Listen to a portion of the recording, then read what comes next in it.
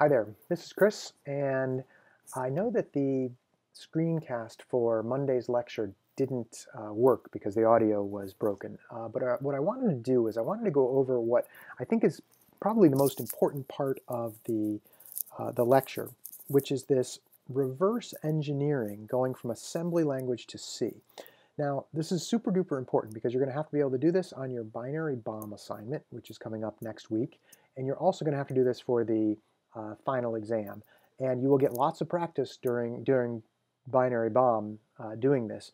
But you should uh, understand, I just wanted to show you um, my kind of thoughts on how I might approach something like this. So basically what's happening here, um, and I should say that this is kind of a little a little bit of a puzzle or a, uh, a game in some sense, much like uh, Karel is a puzzle for CS106A students, right? What's happening is we're basically taking this assembly language and mapping it back onto some C code that it came from, okay? And often we will give you uh, some scaffolding here to, uh, to kind of get you going um, so you don't have to kind of make it up out of, uh, out of nowhere. But um, you should be able to uh, you should be able to do this without too too much trouble. Okay. All right. Let's just dig right in. If we have, let's take a look at this function. Long test. It's going to return a long, and the uh, it's going to have three parameters: long x, long y, and long z.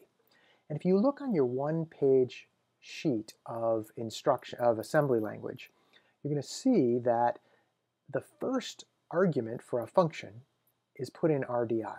And guess what? X is our first value here, okay, first parameter. The second argument is put into RSI, and that's Y. And the third argument is put into RDX. This is a standard through all function calls. Okay, so if you have a function with three parameters, the first one's going to go in RDI, second one's going to go in RSI, third one's going to go into RDX. Okay, all right, so that's the, the where we start. So if we ever see RDI in the rest of this assembly, it's going to mean X etc. for RSI and RDX. Okay, all right, let's jump in. I should also mention that if you haven't read through the slides and tried to understand the slides, some of the things we do in here are not going to make sense. So we better go back and look at the slides and try to understand that before you uh, watch the rest of this video. Let's look at the this first instruction here, LEAQ. Okay, remember LEAQ was used as the address of uh, instruction. Basically what it does, it says okay, we've got all these memory uh, addressing forms, and it's going to take whatever this equals, and it's going to put that into the destination. That's what LEAQ does. Much different than move, which actually dereferences these things and says, okay, go to the location RDI plus RSI and do something with the value there, get the value or whatever. In this case, it just takes the values in here. What's most interesting about this is that RDI and RSI, in this case, don't have to be addresses at all. The LEAQ instruction just takes those and performs that linear equation on it and gives the puts the result in your destination. So in this case, let's look at what we have here. rdi is x. Our si is y. And we're gonna the the with the parentheses and the comment here, this basically means x plus y. So we're going to take x plus y and we're going to put it into rax, okay, some other variable.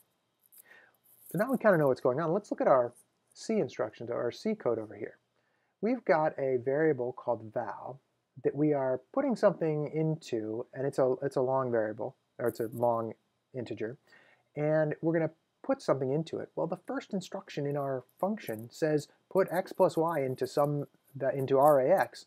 Well, that means that RAX is our val variable. And so what this is going to be is x plus y. Great, so far so good. We've done this instruction. Let's go on to the second instruction here. Now what's happening? We're taking rdx and adding it to rax and putting the result in rax. Hmm. Well, this is where the puzzle part comes in. We already know that rax is our val, because that's what we've, we've done over here and it's adding rdx, which is z, plus our val, and then storing the value back in val. So what's happening over here, there's only one line that's setting this val. Well, guess what? We're also adding z to it. In other words, this one statement here was these two instructions over here. Okay, many times one C statement will produce multiple assembly language instructions. Okay, all right, let's go on to the next line. Aha, CMPQ, compare. We are comparing negative 3 to RDI, which we said was X. Okay, and remember what this does. This subtracts negative 3 from RDI, so it's going to be RDI minus negative 3, and then it sets some condition codes. Okay, and those condition codes are the zero flag, right? So the zero flag or, or the uh, sign flag if it's negative. Okay, it's going to set those flags, and those flags will be set. And the next instruction here jumps based on those flags. In other words, this instruction says, well, what are the flags right now? They were just set by the previous instruction. What are those flags? We're going to jump based on those flags. Here's how you read this.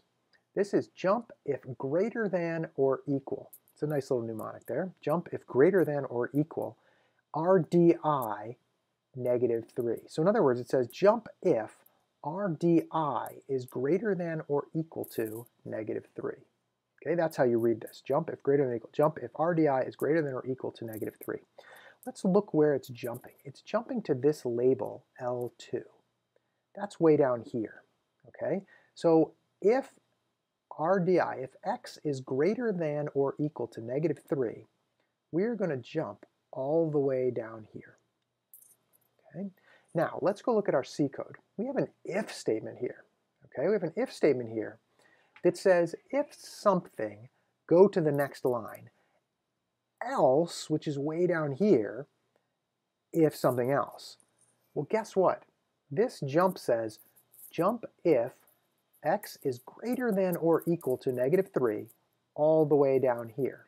In other words, if this is not true, we're going to jump all the way down to here, right? Because that's what the if statement means. This means if it's true, go on to this next line, right? And so in this case, it says jump if greater than or equal to. Jump if x is greater than or equal to negative 3 all the way down here, meaning that this has to be if x is less than negative 3.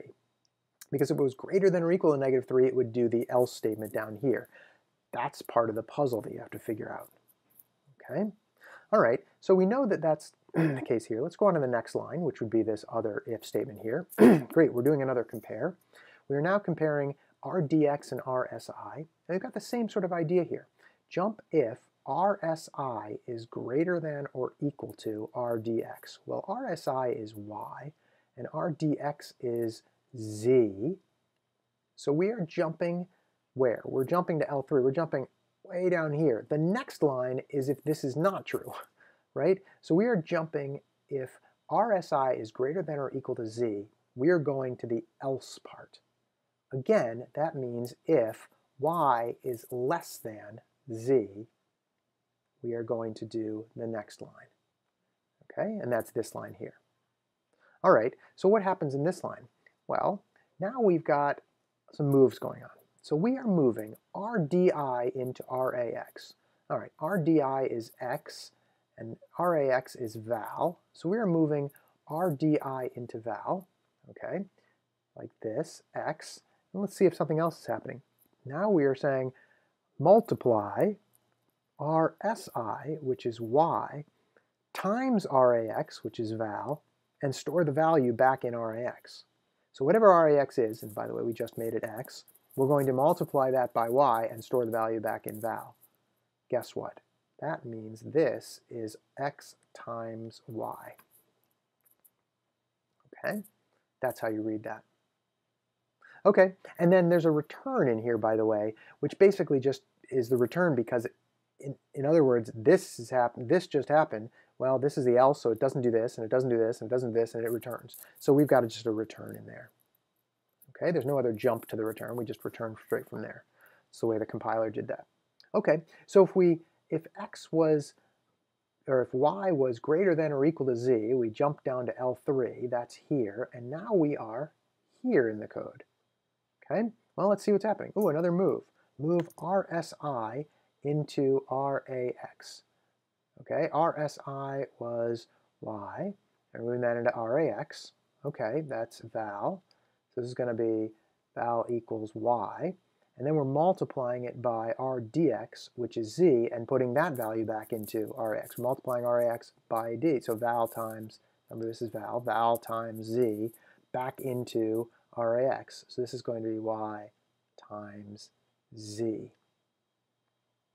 Okay, and then same thing, return, because it doesn't do any of the else part in this case.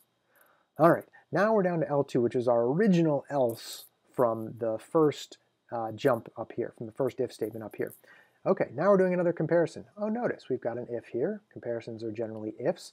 Comparing 2 to RDI.